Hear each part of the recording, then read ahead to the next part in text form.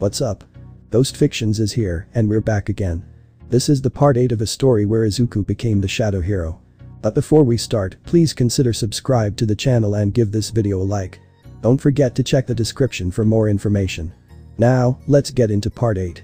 Class 1A with Rumi and Nejire all said bye to Izuku as he left for the internships. It was a surprise to many seeing Rumi and Nejire hugging Izuku, but they went back to UA for their first lesson, which was a little later than usual. In class all 19 students were there so Aizawa started to talk, as you know, your provisional exams will be coming up later today. Hitoshi Shinso will be coming with us to the exam site and will most likely be given the 21st seat of 1A. This got many excited, their relationship with Hitoshi went up since the camp, even if he was kidnapped. Sadly for the purple-haired kid, he just wanted to be left alone most of the time. With that being said Hitoshi came in, for the time being you can sit in Izuku's place, you will be having a seat placed soon. Hitoshi gave a grateful smile and nodded. We will be leaving at noon, don't put your hero clothes on yet. Then stood up and rose his hand up, sir I have a question. Getting a nod, he continued, what will the exams be like? There will be two parts to it, it is usually some kind of team activity first then a rescue. But with the emergence of the gates there may be a new component or it will be done slightly different. Aizawa explained. After the gates was more well known, laws and regulations were needed to be placed. Izuku did indeed send out at least one or two measuring devices to all hero embassies, now with it it was safer for people. What the Japanese HSPC did like many others allowed people to go into gates if they have some type of license. There are three type of licenses, the normal civilian type that allows people to go into E and D rank gates and use their quirks. The provisional license which is the same as the hero provisional license, allows those people to go to the gates up to their rank level. So for example if Katsumi would have gotten her provisional she could go to an A rank gate, but you will be needing a hero with the same rank. Finally, the proper so-called hunters or heroes, they could go up to a rank higher gate, but as support for those type of gates. There was an exception to the rule, Izuku Midoriya, he could do any gate he wants as he was a national level. But that being said the exams too needed to be changed a little as the governments around of the world see that gates start appearing more often every day. There were reports of gates not actually being open and killing some humans nearby, which was concerning. At the exam center. 1A with Hitoshi got out of the bus with their hero suits in the hand with Aizawa and surprisingly Nejire as their supervisors for the day. The bubbly brunette wanted to see how Izuku's friends did during the exam, so she went with Aizawa. Now as the class was standing with Nejire in her hero suit waiting for Aizawa to get out of the bus, they were approached by Ketsubutsu Academy High, especially by a black-haired kid named Yo Shindo. You must be UA. I am a big fan. He said with a fake but cocky smile towards them, I see Izuku Midoriya isn't here. A shame but you are nothing compared to him. Yo wanted to rile them up so more mistakes would be made by them. What he didn't expect was laughter and smirks, oh we know, but at least he is helping up getting stronger. Shoko uncharacteristically spoke. This was a minor surprise as the quiet girl doesn't usually speak out loud, but then Yo came up to her and held her hands. The beauty, wow I am Yo Shindo. What is your name? He said with his most charming smile. But the sweetly sick smile, she started to freeze the hands of Yo, Shoko Todoroki. Then when Yo felt his hands freeze over he jumped back and used his quirk to crack the ice breaking it to pieces. Shota. That word made Eraserhead freeze up, let's get married. A lot of students from both schools sweat dropped at that. With a look straight at Emi, he said, no joke. She quirked her eyebrow, you don't look dead, let's get married, so you won't look dead. The face palm was heard from the teacher, I may not be as tired as before, but still no. He then turned to his students, get inside guys, get changed and follow the instructions. With that being said they were about to leave when class 1A was stopped or more specifically Chika. Chika girl, how you doing? Chika turned around and smiled. Hey Kami, good to see you again. The duo hugged with confusion coming from 1A. This guys is my friend from Shiketsu, Kami. Kami these are my new classmates at UA. That's rad, where the hot eye you been talking about? Izuku right. Chika covered Kami's mouth so she wouldn't be talking about anything Chika didn't want. Nejire had her eyebrow risen, not surprised anymore that more girls had a crush on her Zuzu. Katsumi had her eye twitching.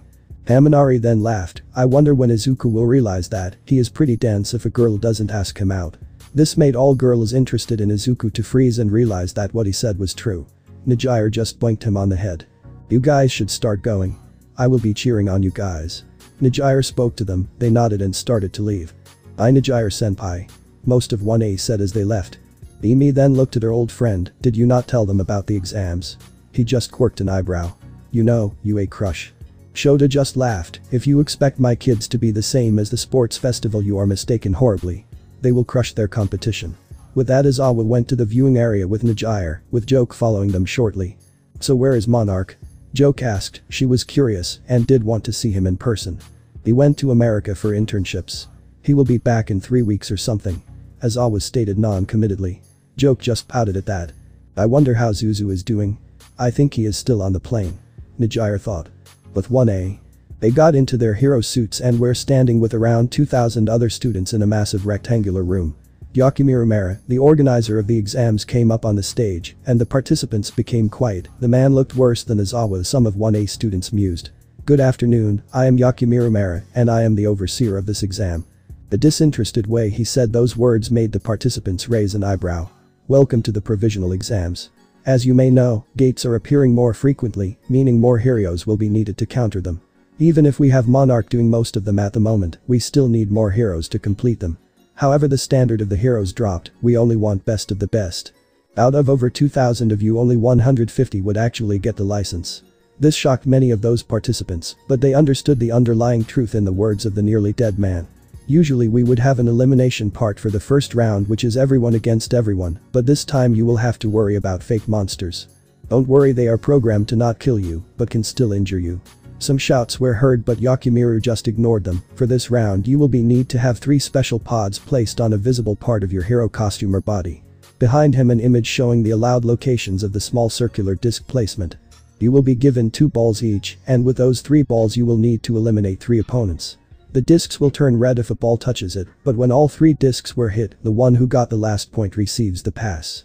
If all of the three discs flash red you are out, but if yours flash green then you pass. Only 150 people can pass. Good luck and make it quick. After that a massive yawn came out of the mouth of the man as he walked away. Let's kill those fuckers. One explosive blonde shouted with an explosion coming from her fists. Heian nodded, if we pass then we can go into gates with Izuku. Ejiro came up to them and said, we will win. Manliness. Others from 1A just chuckled at the uplifting spirit of Ejiro. This is what some of the class needed, it wasn't as if they were not ready, but they needed more confidence. Some even wished that Izuku was there fighting with them. After everyone got their discs and the three balls, the box opened up. Over the speaker a voice was heard, you have 5 minutes to get into a favorable location. Most of 1A actually stayed together. Only a small group of Katsumi which got Shoko, Heian, Ejiro and Denki with them to a location that was inspired by a town. Go. With the final enactment hell started. With Katsumi's group.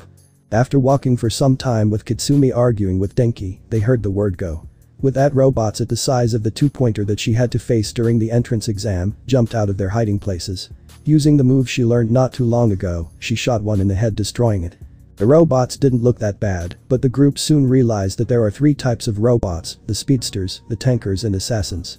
What Katsumi just killed was an assassin, they don't produce any sound and are agile. Tankers have shields on them and punch hard, whilst the speedster's speed was high, its actual defense was low. Heian threw one of her swords at a tanker distracting it, whilst she materialized a sword for a kill, going to the left she stabbed a sword that had the properties of fire destroying it. The group of five then were met with a group of 20 students with colorful ninja outfits. Katsumi just snorted, wannabe ninja. Boy, give up and we won't rough you up that badly one of the wannabes spoke up, that person was throwing some nuts up and down, the metal ones more specifically. Ejiro took a step forward, that isn't manly enough for us.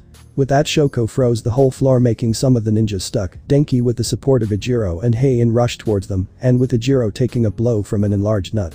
Heian jumped above Ejiro with a sword made up of electricity to knock out one of her opponents, whilst Denki went from his side with his disc shooters.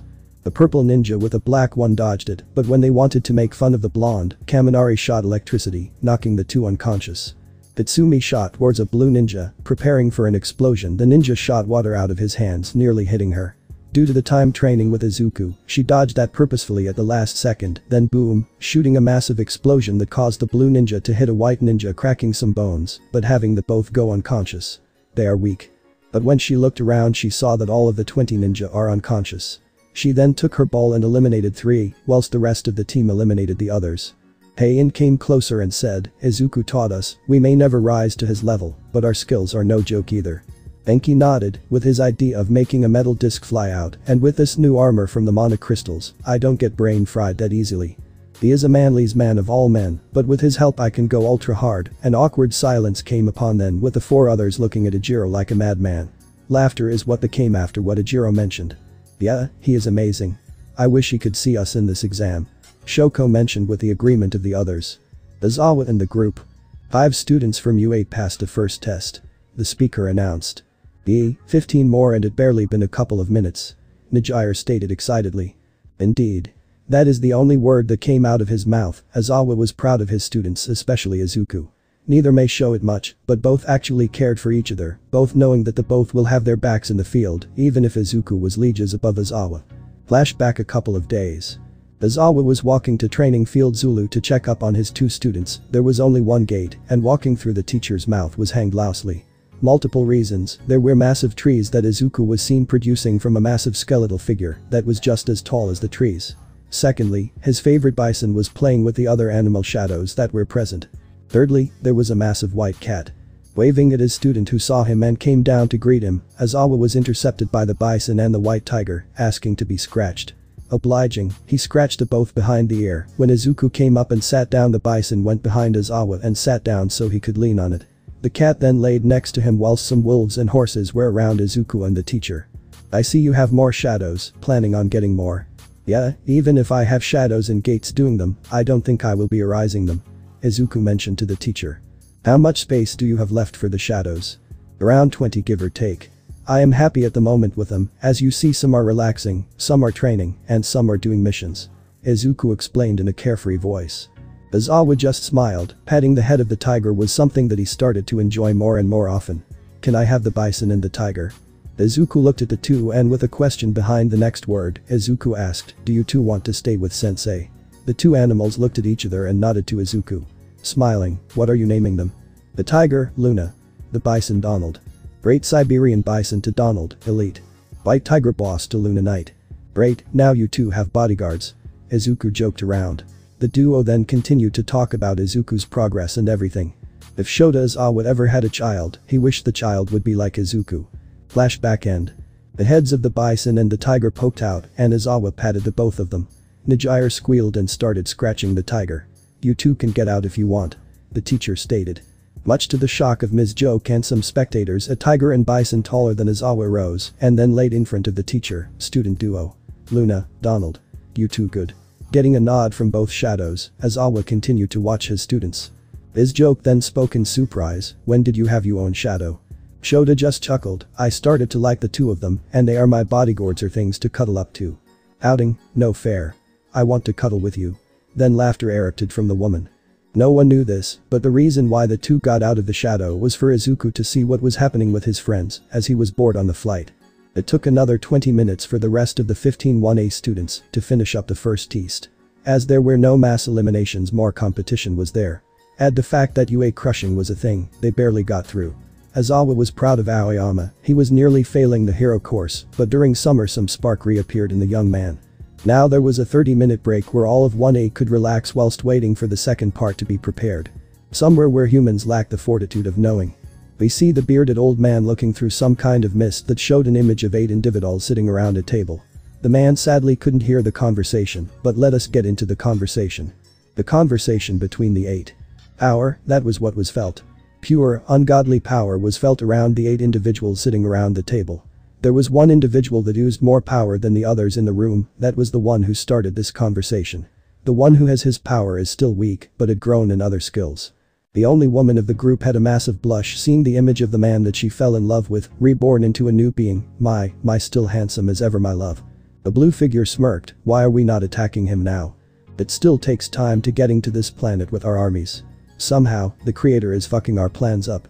The de facto leader spoke. Old man is getting weaker. One of the figures stated in an arrogant tone.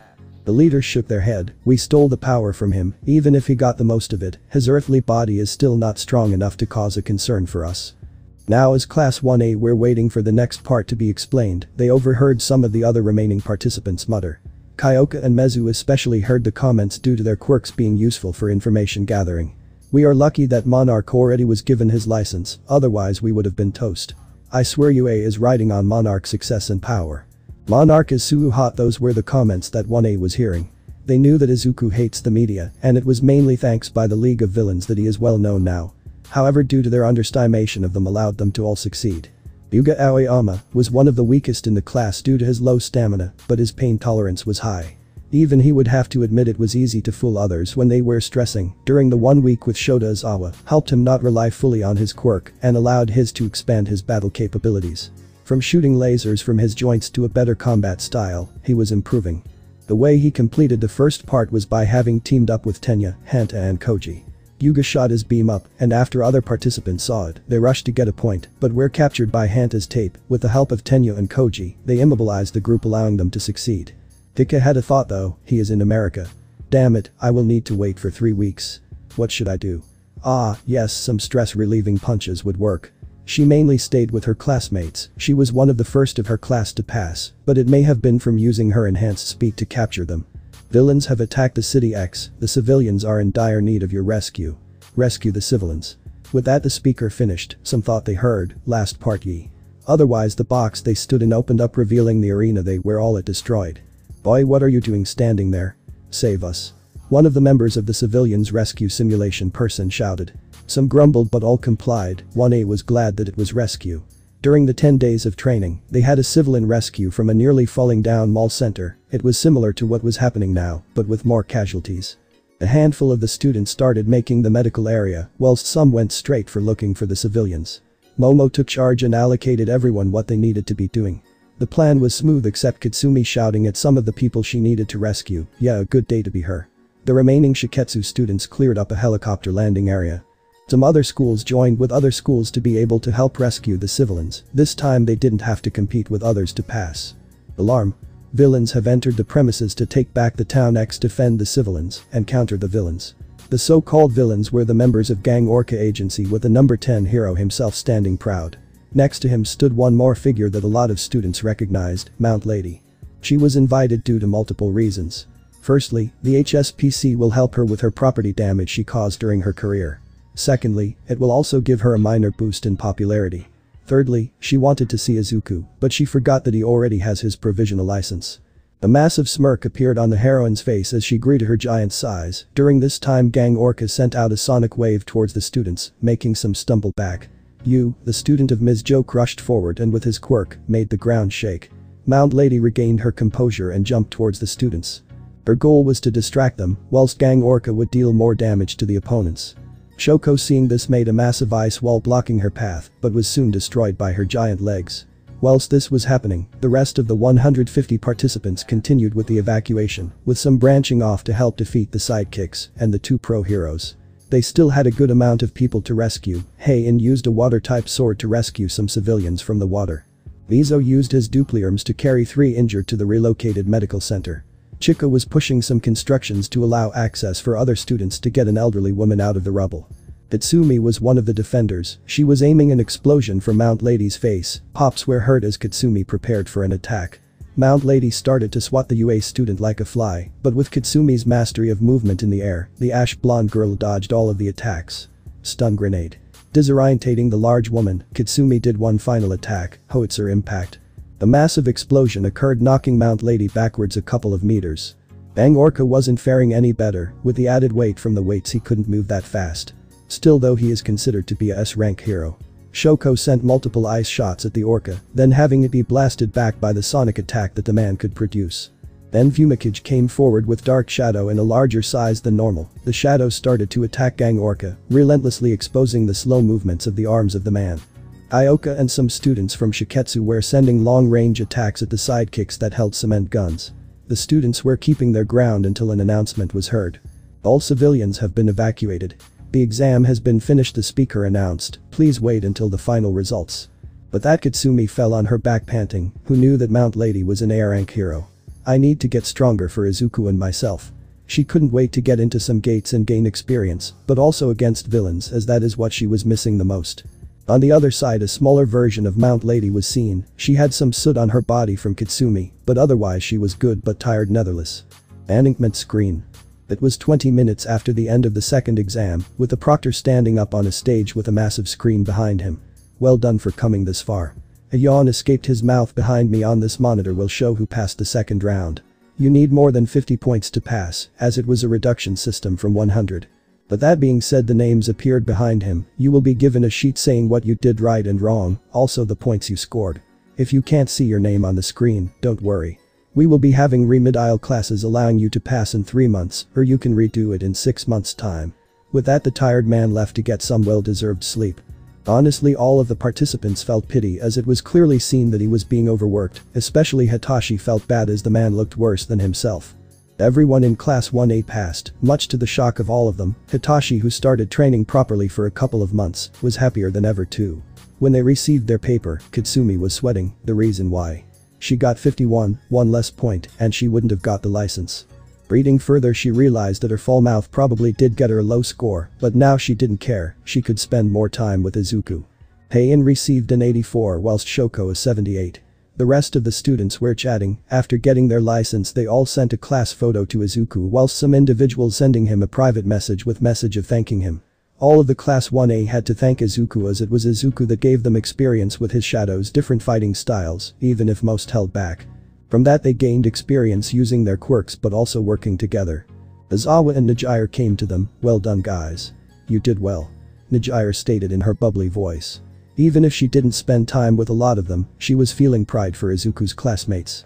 1A sensei nodded to that, I agree. Now let us get going. He wasn't tired as much since Izuku gave him the energy drinks, but he still wanted to have his private time cuddling to his bodyguards. Before any of the tried to leave, Ms. Joke tried to hug Aizawa, but was blocked by Donald and Luna. Aizawa had a shit-eating grin on his face, thanks Donald, Luna. Ms. Joke just pouted. Though she said, don't forget love, we will be meeting in 4 weeks for joint training. With that she waved and jumped away. Fuck now this shouldn't be heard by any person, as all of 1A and Nejire were blushing up a storm hearing the pretty multiple words that came out of their teacher's mouth. That is a lot of swear words all of 1A thought, let's say a lot of 1A, and Nejire didn't even know that some of those words even existed, so new words were learned. Where is Izuku when you need him? Aizawa muttered at the end, although he became happier knowing that his favorite problem child will be back from America by then. When they arrived at the dorms they were greeted to a lot of pizzas, chips, fizzy drinks and other fast foods. A letter was on top saying, well done guys. I saw your messages and I am proud of you guys. Train hard and I would even arrange a class dungeon to be completed. It was Momo who read it and the rest of the students were happy hearing that. All of them knew who it was as most of them only sent a message to their parents and Izuku. Next day, it was Tuesday and the school life returned to normal until the afternoon when Aizawa announced something, now you will be having guests. You already met the three, but they will be telling you about internships. Ejiro asked, is it the same as what Izuku is doing? He just received a nod from the teacher until the door was flung open, revealing the big three. Mirio, the de facto leader of the big three, came up to the center and exchanged pleasantries with Shota. Getting permission, the mini All Might started. Hiya, as you already know we are the big three. I am Mirio, the shy person is Tamaki and finally Nejire. They don't look like potatoes. Everyone just ignored Tamaki already kind of used to the behavior of the shy boy. Now, tell me. The future will be. An awkward silence overcame the classroom. Grim. Denki then muttered, but everyone heard him, I mean, it is already grim with the gates and the increase of villain activity. The rest of the students nodded and the class vice president stated, that is why we are here. To increase the safety of everyone.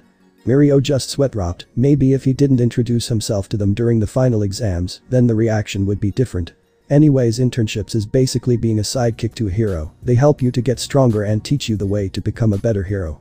Anyways, it is a better way to show you guys than sitting in your seats. He then turned to Aizawa, with you permission, can we go to Gym Alpha? The erasure hero nodded and then told the class, get into your PE uniform and meet in Gym Alpha in 10 minutes. With that everyone left with Nejire being last to leave out of Big 3. Gym Alpha. The gym facilities don't really have gyms, but a massive closed-off area where students could train. The actual gyms are located in a different part of the campus. Mirio stood in front of 1A who all wore their PE uniforms. Okay, now you 20 will be facing against myself. Are you sure senpai? Wouldn't it be unfair for you? Hanta asked. Indeed, that sounds like unfavorable odds for you. Fumikage continued. The smirk was the answer that class 1A got. Anyways, ready. Go. With that 1A arranged themselves in the front fighters, mid-ranged and long-range support. Everyone was shocked when Mirio seemed to disappear into the ground and jump back near Hitoshi hitting his stomach, making the boy nearly pass away. Always deal with the people with mind-type quirks. Then he once again disappeared, some of the students who were near him tried to attack, but their attack seemed to phase through him. Now if I think about it, Zuku has a similar ability thanks from his Sharingan. Nejire thought thinking about her boyfriend. They will have another date when he comes back and see how it goes from there. During the time Nejire was daydreaming, Mirio took out the long-range attackers. Next were the long-range attackers. Using 5% of Opha, a small nearly not visible golden aura surrounded him making his speed be faster, surprising Shoko, who nearly froze the big three member. But as everyone, Mirio hit her stomach making her go onto the floor. Katsumi shot forward, but as her explosion went through him, she used her instincts to shot herself upwards, missing a punch from Mirio. Mirio continued the demolition of 1A, Heian tried blocking the blonde man with her sword, but his arm passed through, but when his arm was through then he punched Heian. Ah, Izuku cannot do that. It is either all of his being fully permeated or not, unlike Mirio. Nejire thought with a frown. Aizawa was seeing that, he leaned down near her and asked, what's wrong? Izuku has a similar skill, but the difference is that he can only do it fully or not unlike Mirio. Nejire explained, Aizawa nodded to that. Tamaki heard some of it and thought, what does she mean with Izuku having a similar ability as Mirio? It was weird, he thought that Nejire would be saying everything to them than keeping secrets. But himself and Mirio were too keeping secrets so he couldn't blame her. There was only a problem, Mirio was close enough to hear what Nejire said. This got himself to lose concentration of both Opha and permeation, allowing Katsumi the last one standing to send a massive explosion at Mirio, knocking him off his feet. Ha, got you. She smirked as she jumped back. Katsumi saw that the naked male was in a sour mood, that made Mirio not realize that he used his current maximum of 37% rushing at full speed at a wide-eye Katsumi. She tried to get away as she knew that it wouldn't be pretty after that. The aura around Mirio intensified a lot, it was of a mid-S rank, but the visible gold sheen was seen clearly. Time was slowing down, Katsumi who was never against a challenge was shaking now. Closing her eyes and trying to put her arms up to guard herself nothing happened. Aizawa and the everyone in the gym saw that Mirio for some reason released his aura and intensified his Opha usage.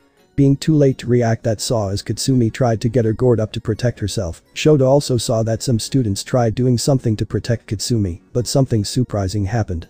Izuku told no one except Nezu that he left a knight level shadow in every 1A student except Katsumi, Shoko and Heian, where he placed an elite king just in case. Izuku also placed an elite knight in Nejire's and Rumi's shadow, just in case he needed to use the skill of teleportation to get to them. What stood in front of Katsumi was Beast, the Nomu that Izuku defeated during the USJ incident. The shadow who had the resemblance to a bird Nomu hold Mirio's fist like it was nothing. The shock nullification and the increased regeneration that increased when he reached a near high-end type also helped the shadow. Then Beast used his strength and threw Mirio to one side of the gym, then stood protectively in front of Katsumi. Katsumi who opened her eyes after not feeling the punch, saw that it was Izuku's first shadow he got from the outside world. Beast. She then had a light smile, even if she hated to admit it, she was thankful for Izuku for placing a shadow with her. This meant a couple of things, he placed a shadow just in case if Katsumi bit more than she could chew, but also showed that he was worried about them, but she knew that Izuku believed that she could protect herself. Aizawa went up to Mirio and asked, what was that about? That would have nearly break a lot of bones if that attack hit. My students may be strong, but that attack was overkill even for you Mirio. Mirio got out of his annoyed state and spoke in a fake sincere tone, sorry about it sensei. He bowed towards Aizawa then towards Katsumi. Seeing that, Beast returned to Katsumi's shadow. Shaking his head of the final thoughts, he spoke, so what do you guys think? New quirk is op. Interships will help us grow. You need clothes so you won't become naked. You have a strong quirk. Mirio shook his head, originally my quirk was weak, I began to control it during my first year properly with my teacher Sir Night-Eye, my quirk was called permeation. However, my quirk evolved allowing me to become stronger and faster last summer, now it is called permeation and body weight. That was a shit excuse in all honesty, but everything goes right. The strength could be said that he is putting more weight or less weight, making his speed go up or strength of his punches. As Awa then started to talk, Mirio here is one of the strongest students and an applicant for the number one hero in Japan. One student asked but stated at the same time, wouldn't Izuku become the number one? He is a national level hero, he is helping a lot of countries with the gates, and even his shadows are helping allowing Japan to have the lowest gate deaths. That was surprisingly Mina who said this. Everyone missed Mirio's twitching eyebrow as Awa and Nejire. We still don't know about his situation as he is still a first year. But yes he is one of the strongest. But in the inside, if he masters infinity and other skills he gained no one will be able to defeat him. But that the students began to leave with the permission of Aizawa. But the big three stayed, but before 1A and their teacher could fully leave, they were stopped by the conversation that happened behind them. The Nejire asked Mirio in a concerned tone, Mirio are you okay? In an annoyed tone he said, TCH, I was meant to become the strongest, but now with that Izuku, the rest of the words were lost to all as it was said under Mirio's breath. Raising an eyebrow but not letting the anger control Nejire, she asked, Mirio, you still have time to grow. As you said you can nearly control 40%, imagine your power at 100%. For some reason Tamaki flinched, but it wasn't seen by Nejire. Frustration was clouding Mirio's mind, after Sir Night Eye seeing the future without Izuku he believed that he will become the 10th national rank hero, become the number one of Japan. Be able to become the next All Might, the strongest. But the pressure that was applied by All Might accidentally saying things about a protege by accident, people were starting to think it was Mirio as he was working with All Might's only sidekick. He also felt bitter knowing that it was Izuku him being close to his crush and nearly dating her, Mirio had developed a crush on Nejire during the beginning of the second year, but now he didn't know. With the extra stress from people criticizing him when he wasn't looking but being able to hear it, made something break within Mirio. It may have been the stress, the anger from Izuku, frustration from Beast throwing him or even jealousy, but he would regret what he did next. So? So what? Izuku could fucking beat All Might in Maruko, and he has grown a lot. Then he was recognized as the weakest national rank hero, but now people are saying that he is on the same level as All Might the fucking strongest even without his shadows. The rise of Mirio's tone wasn't lost to 1A or anyone watching it. Aizawa was looking at Mirio with a new light now, he knew after the spring break something changed in Mirio, and now he wondered if he will be told why. Mirio, calm down. Nejire started to try and calm the situation, but to no avail. Calm down, Sir Nighteye predicted that I will be the strongest, the light of the future, but he didn't see Izuku. He wasn't planned. I am All Might's protege, he trained me, expected me to fill his shoes, but now everyone started to look down on me. I wasn't there to help my master defeat all for one, I wasn't there to do anything to show my worth. It is all because Monarch. Anger was seeping in the tone of Mirio, with his aura rising up too. Tamaki was backing up due to Nejire and Mirio's confrontation. Nejire wasn't a confrontational type, but when someone shuns or says anything about her precious people, may Kami help the poor soul. Her aura was rising to new levels not seen by either boys, now it was mid-S rank level where previously it was at high A rank. It wasn't my fault that Izuku is out there helping people, heck he isn't even receiving anything but a thank you from everyone. Now you are here bitching because people are angry at you for not even protecting them from the gates or helping All Might. The power that you possess is getting in your head Mirio, you think you can become a number one hero, but so far the people don't see that. Mostly it is Night Eye and possibly All Might who cares about it anyways. She wanted to make Mirio calm down, but even at the back of her head, she doubted that what she said even worked. Not protecting them? That is what you are saying. The people should be grateful, an S rank like myself protecting them is a bonus for them. No harm will be done to them, but everyone seemed to ignore that, I am overshadowed by your precious Zuku. The two auras were clashing hard now. Grateful? Wasn't your goal to save 1 million people? Heroes are the ones to protect the innocent, the civilians.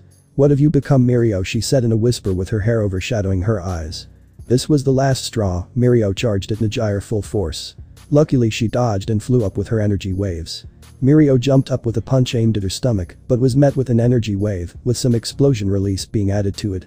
Mirio in his state of mind didn't have his permeation on and so was hit with the energy wave that exploded when in contact with him. The shock made him hit a wall, he had wide eyes looking at her newfound ability, how? Nejire just gave a disappointed look towards Mirio, everyone keeps secret. Don't badmouth Izuku Midoriya because he is more of a hero that you will be. With that she walked off to her Izuku's room, whilst leaving 1A, Aizawa and the two remaining big three members in shock from having explosions in her waves. No one expected to see this, especially Tamaki, everyone thought that Nejire was a happy but peaceful individual, but now they know not to mess with her. Nejire started to have some tears in her eyes, Izuku mentioned to her that if she ever needs to go to his room when he was away then she could. When arriving she went to the bed, but before she could cry some more, she was hugged by Izuku. The walk from the plane to the agency wasn't long, they were in one of the two agencies that Star and Stripe goes between. One in the outskirts that had a landing area for planes and the other one in Washington. Star and Stripe otherwise called Kathleen was showing Izuku around happily, whilst Izuku greeted everyone with a smile and a wave. And now finally this is the area where I do my paperwork in this agency. Kath finished of the speech.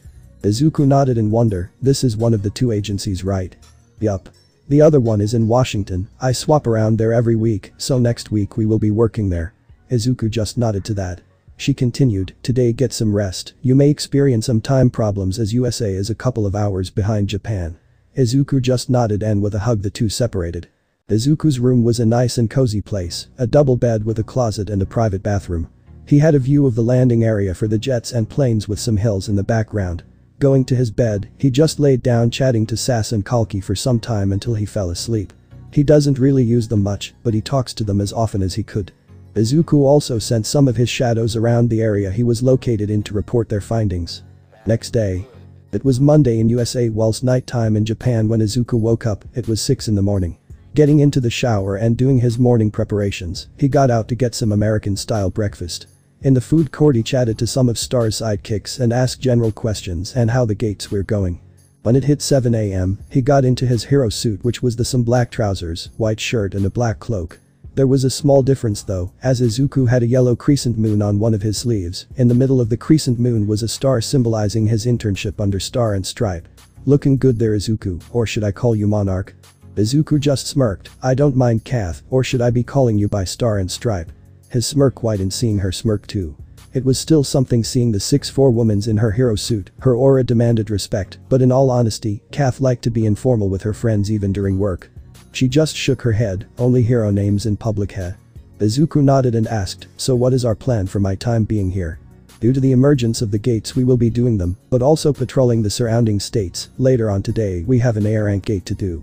So we will be taking some of my new recruits whilst we will just supervise.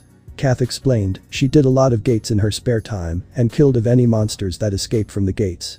The crime rate is slowly going down due to the so-called villains getting their license to use their quirks or meta abilities for once and not need to go to hero schools to use their quirks. Also we will be on the lookout for an anti-quirk group. Reports from the government spies state that they will be getting bolder soon and with the minor chaos from the gates, that wouldn't be too pleasant. Izuku just nodded, it took the duo around 10 minutes to talk with Kath explaining. The group is called the Human Liberation Front and they are starting getting more attention, but in the negative light. The people around the world saw that their quirks can be used for more good than evil, as guns are pretty much useless in gates they have to have a different source to kill the monsters so quirks. Izuku nodded and then asked a question, I remember Nezu saying that the government is trying to sort something against that group. It was found that they have a Machian to kill of people with quirks. Izuku frowned as he said that and Star just nodded sadly. Kath knew that if Izuku was killed by that group in USA, the repercussions would be massive as the people started to look up to Izuku. Monarch became a popular figure all around the world, it was because of him that the casualty rates were lower than it should have been. But there are other things involved if Izuku dies in USA under her protection, everyone knew that Izuku is a 17 year old and just recently started his hero career. They don't expect much, but were grateful for the help and the kindness of a national level hero in training. So for instance if Izuku dies for some reason USA will have repercussions, other countries would believe that it was unsafe in the states, and the trading and other agreements would become null. However there is something to be gained if Izuku doesn't die, every country government and hero association knew that Japan didn't have a contract made with Izuku, so in theory he is up for grabs. That is why even with the risk of the repercussions if Izuku dies, they would have a better chance of having a national hero for help. There are laws for the national rank level heroes that the public acknowledges, that is something that every S rank hero and other heroes wish for. That being said, if one becomes a national rank hero, then there are some unwritten laws that the governments need to abide by, and Japan is doing a fantastic way of not doing them. As written before, national rank heroes can be defeated by another national rank hero, villain or an unfortunate event, in most cases it's another national rank or retirement. All Might was the strongest and is still said that he is one of the strongest in the world, but the only heroes before Izuku was Kathleen from USA and Vladimir from Russia that can contend for the number one spot. Now with Monarch being one of the strongest and making friends around the world, it will be harder for Izuku to be killed without repercussions. Now what Japan's HSPC and government failed to do yet was to establish a good relationship with Izuku, meaning if Izuku so pleases he could go to another country, ruin the economy of Japan, or start using his power for evil purposes. Luckily, Izuku wouldn't do that as he still has loved ones to care for, but even now Izuku frowned upon the HSPC, from what Nezu told him, they wanted to have a leash over him at the beginning of UA. The positives of being a national rank hero was being able to have more freedom, have a voice in the country's politics, and can have partial control over the military if they wish for. Of course there are other benefits like extra pay, but Izuku doesn't care about those at the moment. Anyways, for the next 4 hours Kathleen showed Izuku about paperwork, routines maintenance of the base, and familiarizing with the surroundings. 4 p.m. Izuku with his hero suit and Samehada on his back, he wants to finally try the sword if the opportunity presents itself, stood with Kathleen as she started to look towards her new sidekicks. Hello everyone, this will be your first A rank gate, as all of you have been training from E ranks to B rank gates. Monarch and myself will be accompanying you for your safety. They checked with the gate measuring device which stated it was A ranked and something interesting happened, the people who attended gates often started to feel how strong a gate was, but that could be told with experience such as Kath did. Both of us won't interfere until the situation is needed to, as everyone is prepared let's us head in. The group had 15 recruits, 8 A ranks and 7 B ranks. The group was separated by the tanks, mages, damage dealers and support. Tanks are the protections of the group, they usually have a defensive type of quirk such as hardening, or had a shield as a support item. The mages are the long and mid-range support otherwise known as long-range attackers, they usually have an emitter types, but not all of the emitter types are the so-called mages. The damage dealers have more specialistic weapons such as swords or even axes, they deal the most damage to opponents. Finally the support, they are healers and equipment carriers, they only can interfere if the situation is dire or bar the healers. For some unexpected reason, the world has started to call the people who go into gates hunters, whilst still keeping the hero in it. There is also a requirement for every so-called hunter to have a cutting type weapon with them in all gates for their safety. You have entered a gate. Looking around, you could see that they are in a large dungeon that could even fit Fluffy. There are the old-fashioned torches on the walls every 20 meters, it was the only source of light. Suddenly they heard some movement up front and saw a pack of four jackals running towards them. One of the heavy hitters frowned and swipped his hand, causing his wind-type quirk to slash their throats, killing them. Kathleen frowned and asked, why is a C-rank monster in an A-rank gate? Izuku just walked forward and kneeled down, they have been kept here and most probably trained. Sensing that they will have company soon, Izuku said, they are most likely from a hunting party trying to check us out. Going back to the back, he received nods from the others, as it was also good information for the recruits to learn. One of the supporters then spoke, I can feel five presences, they are low air rank level monsters. She got a nod from the rest of the party, the quirk of the female hero, who said it was able to feel the vibrations through her soles of her feet. She was one of the key players in the group, as her quirk is a location finding one. The five monsters came to them looking pretty tall. Izuku recognized them as orcs, looking at the white names he internally scoffed, but allowed things to play out. High Orcs X5. The High Orcs had an intimidating aura around them that caused some of the weaker B ranks to sweat. Getting out of the shock, the group started to attack the orcs. The one with the wind ability used it to cut some muscles on one of the orcs, then a woman with a long sword rushed in and jumped slashing a monster by half. That woman's name was Zest, a high A rank, and had the ability of the manipulation of earth. Her mother has a quirk called demonic body, whilst her father had the ability to manipulate mud. With the combination of the two quirks, she looks similar to her mother gaining a minor strength boost with her speed, but her most dangerous trait is in her quirk. Zest recently discovered her love for swords, and with enhancing it with quirk, it makes it more durable and allows it to cut deeper than usual bladed attacks. She isn't wearing much protection, but her agility is higher than most, she is probably in high A rank. Izuku thought to himself. With one of the high orcs down, one other A rank female shot an arrow piercing a shoulder, allowing a B rank support to send their sentient quirk to finish of the job. With no time two other high orcs were defeated and the last one who stood at the back said something shocking everyone. Mortals, follow me. I want to see you. This came out of the high orc, but everyone realized that the monster was being controlled to say that, should we kill it boss lady? One of the hunters asked Star and Stripe. Not yet, it will show us to the main area. If anything goes wrong Monarch and myself will protect you. Kathleen told the group which they nodded to. They continued to travel for around 8 minutes, with some light conversation occurring between the party. Zest slowed down to talk to her boss and the boss's friend. You must be Monarch. Nice meeting you. Her voice wasn't cold per se as Izuku could hear some friendliness to it. Izuku just nodded, nice attack, I am pretty sure you could take down a low S rank monster with that. Thanks. An awkward silence came before the two for some reason. Kathleen seeing this shook her head and spoke, we will be reaching the place. Nodding, everyone prepared for what will happen. It was massive, the room that they entered would fit Izuku's army and still have space for more. It seemed like they were located in some kind of arena from the looks of it. In front of them there was a big high orc sitting on a throne with four bodyguards standing around, the orc that got them to come here joined the crowd. Izuku could see that some of the hunters were shaking, but he couldn't blame them. He sensed there to be 150 high orcs and there were 5 orcs at a higher level than the others. Kathleen looked around seeing the 155 monsters, she wasn't worried but knew her limits. Her quirk allowed her to become a national level hero, as not only could she apply it on herself, but onto others too. The gates was a weakness for her as she couldn't put the monsters through her quirk, so using the two slots she got her abilities as high as possible. Welcome to the arena mortals.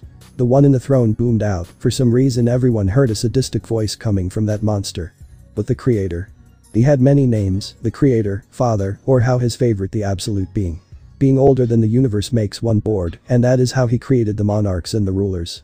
Originally, the two groups fall to the enjoyment of the creator, but then when the rulers discovered that the monarchs are using innocent beings, they did something that not even the creator expected. Using all of their might and some stolen artifact from their father, all rulers died sealing the monarchs away for eons to come. There was only two miscalculations that the rulers didn't predict. Ashbourne, who was on the monarch side wasn't there during the battle, and secondly was Antares. The two were the strongest out of the monarchs, due to Ashbourne not being present, the fight went better than expected, but when using the forbidden technique, Antares messed the sealing up a little.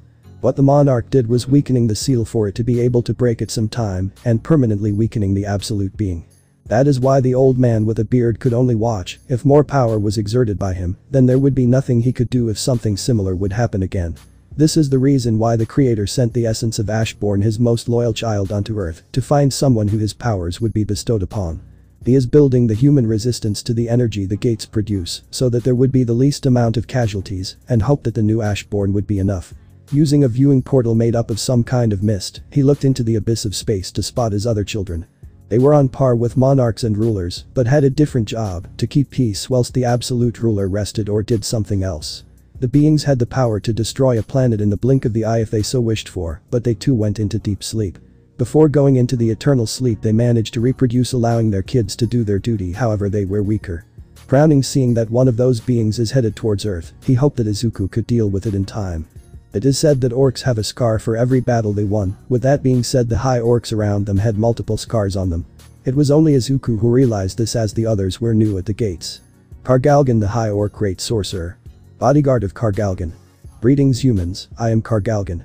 He raised his hand, and then some of the group in front of Izuku, all bar Izuku, coughed up blood, much to the shock of the two national rank heroes, even Kath coughed up some. They saw Kargalgan smirk, my magic can't be dispelled by you mortals. Star seeing that nine of her subordinates are on the floor cawing up blood with the healer two being in the predicement frowned and walked forward. Why did you call us here and what do you want? Kath asked. Though she thought, this is definitely a higher rank boss, even I shouldn't underestimate it. Does she want to negotiate with the boss? Izuku thought whilst looking at his friend. This is a reason why gates pay a lot. Not only the monster drops but also the crystals can be sold, but the death rate is still high. Looking around more clearly he could see bones littering the walls, but the flood of the red skin from the high orcs could overwhelm anyone's senses. Wait. Lowering his glasses so more information could come through his eyes widened at what he could sense. Talking in a voice only heard by Star and Stripe, he told, I thought there are around 150 of them, and the 5 on top. There are 400 of the normal high orcs and 20 higher signatures, but Kargalgan is still the highest. They could completely eliminate a small town, but this is crazy even for me. Kathleen thought with the fact. Do you not fear me? Humans. The roar of Kargalgan was heard all over the room, the white tattoos glowed an ominous blue, whilst the red eyes glowed with power. With the addition of the raising of his hand, every hero was hit with the magical energy that the beast held inside. The difference between aura and magical energy is different, but not like night and day. Whilst aura shown the general strength of an individual, magical energy release shows that the individual usually deals with spells than close-range combat. One of the melee rankers who was a tanker asked a repetitive question, why why? Why? Why did you ask for us? Even if my brethren were killed by you humans, they were only four whilst here you have a full might of the high orcs. Kargalgan then took a couple of seconds then continued, for entertainment. What? The same air anchor asked. During our remaining time here, we'll kill you one by one for my men's entertainment. A roar of approval was heard all around by the high orcs. However there seems to be something odd amongst you humans. A penetrative stare was given one Izuku Midoriya. Entertainment. That was the thought of most of the party. We are not toys to be played with. Star spoke, with that she charged up her quirk to the fullest and rushed with unholy speeds towards Kargalgan. The rest watched as their leader rushed in with a sword rushing downwards to the orc. Hymn of protection no one expected it, not even Izuku to see Star's attack being blocked a blue dome pushing her back. Foolish human. Even with your strength, you will be nothing in front of me. Kargalgan looked down at her and said, gravitation magic. The team watched in horror as Star was lifted against her own will, with a red aura around her smashing her to the ceiling, when she was going down the boss spoke, gravity acceleration. Before Kargalgan got her smashed to bits on the floor, Izuku used the skill. Sprint and caught Star in a princess carry. A glare from the Mangekyo Sharingan was what the boss received. Izuku whispered to Star, next time try not to get your anger affect you in a fight. A gentle smile appeared on his face whilst he placed her on her feet. Cracking his neck, Izuku spoke to the orcs around him with a massive smirk. He already started healing the others up as the curse the boss gave up on them caused a lot of blood loss to appear. One of the bodyguards was asked to take Izuku down, but with Izuku's skill and gravity, he just thrown the orc away like it was nothing. You have quite an amazing talent for a mere human, but how long will that last against all of us? What weak energy you are producing. Izuku mentioned ignoring the army comment for now. You insolent human. Kargalgan growled out. However this is a terrible matchup. Looking with his Mangekyo Sharingan with a red glow he continued, for you I mean. Come forth my shadows. The commanding voice Izuku held was something to be impressed upon. Around 500 shadows came out of Izuku's shadow all ready to battle. Some were flying whilst the others were standing at attention. This energy, it is way more powerful than bosses. Zest thought, she was thankful for Izuku for healing her and now was standing behind Izuku and his shadows. That is a lot of shadows, he could pretty much take over any country if he wanted to, and the rumors say that he continues to grow with every fight. Izuku eyes still kept the color red whilst looking at the boss and his minions, but the boss continued to show false bravado. Trying to puck a fight with my warriors with shadows.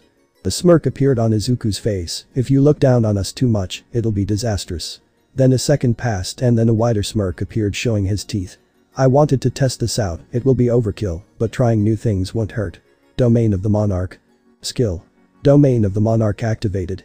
The skill that he received as a mystery prize from the Heaven's Gate, he wasn't in need of this skill, but with the 155 visible orcs and the 265 other hidden orcs he would need that. Shadow soldiers fighting above the caster's shadow will have their stats increased by 50%. A job-specific skill that increased the stats by 50%, an example would be Gabriel. She was in the captain level, but with this boost she achieved the mysterious grade above her in power. A large circle of shadow appeared around Izuku spreading wide to fit his whole shadow army. Every shadow has a tint of purple in them or had all blue turn into a purple color, indicating that their stats are higher. What just happened? Zest asked not knowing what is happening. I can't believe it. He still has a lot more tricks up his sleeve. Star muttered watching in awe. Still that is a lot of ominous energy that is coming from him. The B rank sensor commented. What are you all doing? Destroy him already. Kargalgan yelled out to his subjects. But the mighty roar the orcs and the shadows clashed. Dadara is using the skill Mad Bomber. Multiple small clay bombs escaped from the arms of Dadara as the first wave of attack blowing the orc ranks away like it was nothing. It was soon clear seeing that the normal high orcs will stand no chance at this rate. Come in the rest. The rest of the 265 high orcs came jumping down from hidden compartments. It was still a one-sided massacre. Izuku rushed towards the boss, whilst leaving the now 20 bodyguards to his captains. Using Samehada in his right hand whilst the Kusanagi in his other hand, Izuku did the same attack as Star used with the same form of protection. Samehada ate the power away from the protection, but the grass cutter cut through the barrier like it was nothing. Kargalgan his eyes widened seeing the display and received some cuts, and the right part of his body being shaved off by Samehada. This may be overkill, but it will still help them raise their level. Izuku thought to himself whilst using the Kamui ability to miss the fire attack that Kargalgan shot at him, him of the fire dragon. It was shot by a dragon's head that appeared above the boss. Summoning his spear, he threw it at a bodyguard that was too close for his liking. Some of the knights and most elite and normal have been destroyed at some point. But I still have more than enough MP to keep them going. The numbers on the opponent's side was dropping like flies, which the boss took notice of. Growling Kargalgam spoke, those puppets of yours are not as useless as I thought. Izuku just smirked, sensing the plan that one of his shadows formulated. If I have enough energy then they will continue to regenerate. Then a massive smirk appeared on his face waving goodbye. Can it be, is he the but he was cut off at the end. Kargalgan the High Orc Great Sorcerer has been defeated. It was Toby that used his Kamui ability to go behind Kargalgan, killing the High Orc with a slash to the neck. A shame that not many opponents were national level that is what Izuku thought, but then he shook his head as he just knew that something will happen to him. Looking back he asked the 16 others, everyone good? He looked seeing that the High Orc started to be finished off with ease. Yup, my quirk isn't the best with the gates, but against human villains. Anyways we should start heading out. Star mentioned to everyone. They all nodded whilst Izuku just said one word, arise with that Kargalgan, the 20 high orcs bodyguards and other high orcs, rose up turning into shadows. The party group just had their eyes widened at this. The high orcs shared the same trend, black shadowy hair, red skin with pink teeth tusks, wide eyes, and the scars turned black. I will be changing your name, you will be called Tusk from the tusks you have. Tusk LV.1, Elite Knight, High Orc Boss. 20 High Orc Bodyguard LV.20, Knight. 20 High Orc LV.4, Knight. You leveled up. Skill. Healer leveled up from LV.8 to LV.9. Skill. Weapons Expert leveled up from LV.3 to LV.4. So this A rank gate is around a level up for me. It will be slow I guess, but I still have some other keys. Izuku thought as he caught up to the group. They continued to walk out when he was asked a question from Zest, who was standing neat the two national rank heroes. How come you were not affected by the curse? Both of our power level are high enough to have some kind of regeneration factor. Izuku's is faster than mine at the moment, but that it. Star and Stripe explained to Zest who nodded. Base. All of the 17 members of the party are being debriefed by Star, whilst we knew that this gate was on a higher scale than an average A rank. If anything happens and you know that you can't defeat, run. I don't care if the gate will be still open, collect your comrades and run. Hi boss. The 15 shouted in appreciation, Izuku just nodded seeing Star speak. Star just smiled at everyone, because of the gates she had to employ more sidekicks that could help deal with the gates. Now she has three gate parties, one in Washington and two in this base. Ten minutes later after the meeting. Izuku was eating his dinner when Zest sat in front of him. Quirking an eyebrow he asked, you okay? Yes, thank you. Her voice wasn't as emotionless as before, but had a tint of happiness in it. Although her outward expression didn't change, Izuku felt a twitch of some muscles, indicating that a smile was blooming. How is Japan compared to USA? Looking at the ceiling Izuku replied, not that different surprisingly. I still need to see how the patrols differ though. Zest just nodded, after eating a couple of spoonfuls of her meal she continued, so anything interesting is happening with you in Japan. I could say that I have three girlfriends, a couple other people have a crush on me. Washington has a gate that I need to complete. Izuku thought then he said, I just started my second term of UA. My classmates just got their provisional licenses yesterday. Zest just nodded, so tell me about you, Zest right, we barely know each other. A small quirk of her lips due to Izuku remembering her name, she spoke whilst nodding, and what should I tell I am 20, and I just started working here before the gates appeared. I have a sweet tooth, but also recently I found a fascination with swords. Izuku nodded hearing that, what about you? I just know the bare facts that the media present. Sure. I met Star and Stripe during summer at I Island, and we became friends. I am 17 and I like to discover new things. Such as abilities of my quirker the world. I don't really like reporters and I have three girlfriends. Izuku mentioned, but when he spoke about his girlfriends, a small smile came on his face indicating to Zest that he truly cares about them. I see, so she was cut off by Kathleen entering the dining area. Ah Izuku you are here. Hey, Zest. Star greeted them as old buddies, if you don't mind, can I steal Izuku from you? Hi boss. The devil woman agreed, but Kath could hear a tone of sadness in her voice. Sure, I will just put my tray away. With that he left. Whispering to Zest, don't worry, I will help you out. With a wink at the end. Zest just wanted to hide her face, she thought that she understood her boss. Kathleen wanted to help her out with Izuku right. In Izuku's room, an hour later. It was an hour after he spoke to Zest, Kathleen wanted to ask him some questions and some general information, but now Izuku left to his room to relax. Laying down on his bed, Sass and Kalki were eating some food whilst he was trying to expand his senses. Eyes widening seeing through Uriel's eyes, he used the skill. Shadow exchange and hugged Nejire whilst Uriel was dealing with the Kwamis. It's alright Nejire. I am here. Izuku said whilst Nejire was hugging his body. Do you want to talk about it or continue hugging? I don't mind as I am free. Hug at the moment. Izuku just nodded hearing a usually confident woman have a small breakdown in front of him. The monarch looked outside the window and saw it was still daytime whilst it was nighttime at USA. He continued to hug her until her soft cries turned into small snores of contentment. Izuku whispered to a shadow, wake me up if anything is happening in the USA, or after three hours. The angel on guard nodded and returned to Izuku's shadow. Two hours later. The gyre started to wake up, she just remembered what happened between herself and Mirio Togata in the gym. Now all she could remember was her Zuzu under her whilst she is hugging him, taking all of the warmth. Opening her eyes, she saw the one Izuku Midoriya under her, the warmth he was producing was intoxicating. Izuku also started to wake up from the movements, hey Nejire, feeling better. Izuku asked whilst putting his arms around her making her head go back onto his chest. The only female in Big 3 heard the gently beating of Izuku's heart with a small smile, yeah, feeling better now. Thanks. Want to talk about it? Izuku said with a whisper, even though he knew bits about what happened. Talking in a low tone, Nejire told Izuku what happened.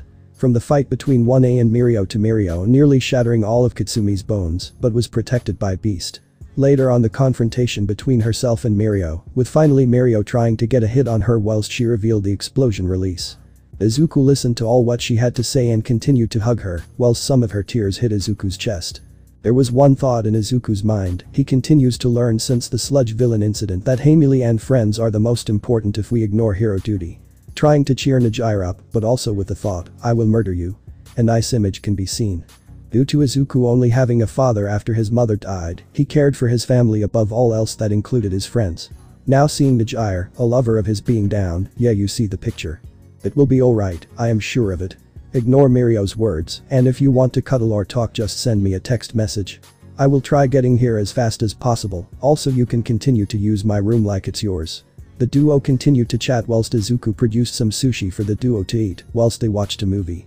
Now Nejire was happy, they had a mini date night, cuddling, watching a movie and eating one of her favorite foods. A couple of hours later, Izuku had to bid Nejire farewell as he was going to be needed in USA. The both locked their lips in a passionate exchange with the battle of the tongues happening. Due to the height difference, Izuku placed Nejire's feet around his waist and continued to kiss. After the kiss and the final goodbye to Izuku, Nejire had one thought only, I need a cold shower. With Izuku and Star. That was their morning talk and Kathleen asked, so what do you think of Zest? Not expecting this, the first few words came out spluttered then after compassing himself Izuku spoke, Zest seems nice, she has a good head on her shoulders, and I predict for her to break the S-rank barrier soon with her sword techniques. Other than that, I don't know, but I would want to become friends with her. Star just nodded. Why did you ask anyways? Oh nothing really. Anyways, get ready we will be heading over to the city to do some patrolling. Kathleen spoke. Izuku nodded and then started to prepare Aka. Wait atop the helicopter deck for Star and Stripe. But Zest and Kathleen.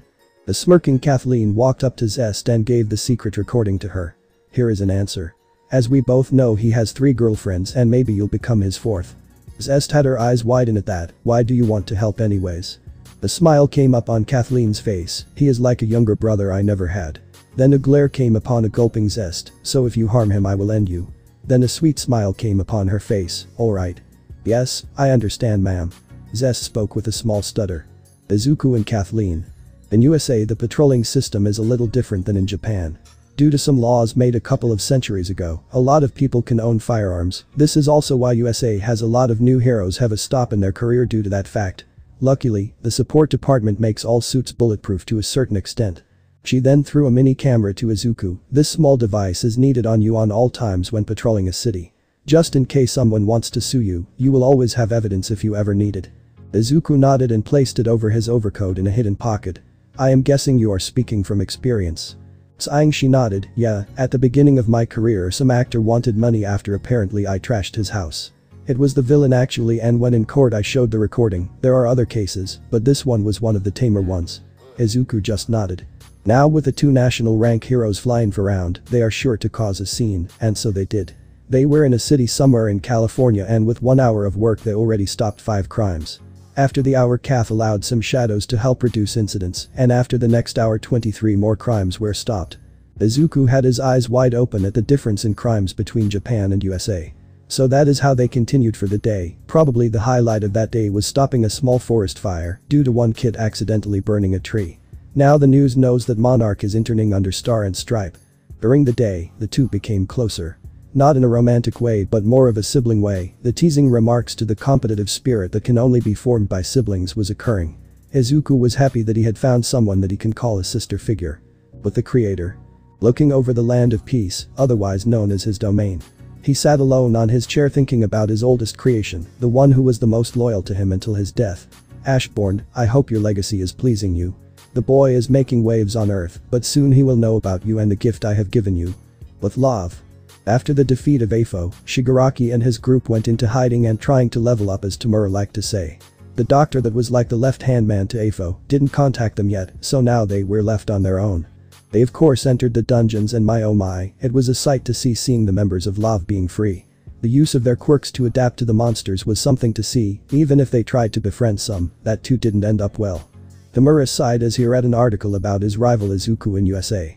He still couldn't help but smile with what Izuku gave him. Flashback. Whilst Izuku and All Might was facing off against All for One, Tomura and his group were watching their sensei battle it out. When Afo made Kurogiri's quirk active, Izuku used this chance to make a node become invisible and used gravity manipulation to place it in a pocket of the new leader of Love. After having a chair turn to dust, he noticed something in his pocket, so he read it.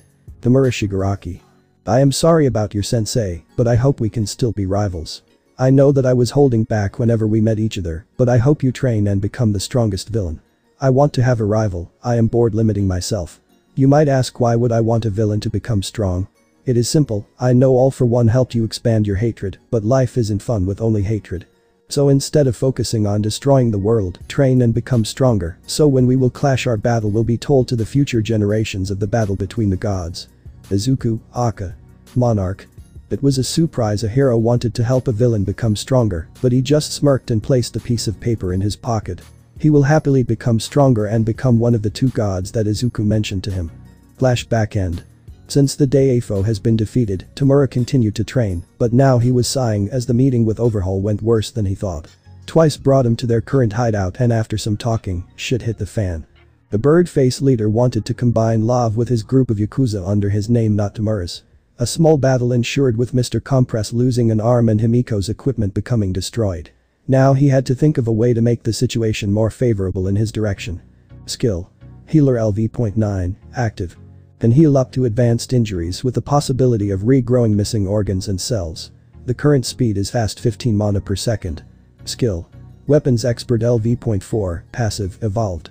The passive skill that gives you 60% more experience when using weapons of any kind and a plus 10% speed boost when using a weapon in combat. Skill. Domain of the Monarch. Job specific skill. No mana required. Shadow soldiers fighting within the shadow of their summoner will receive a 50% stat increase. Monday second week of internships. It was a fun week for Izuku, the relationship between Izuku and Kathleen cultivated into a stronger sibling relationship. Izuku leveled 2 of his skills up Black Whip and Infinity, to see Star go face first into the barrier in a spar was something to laugh at. Skill.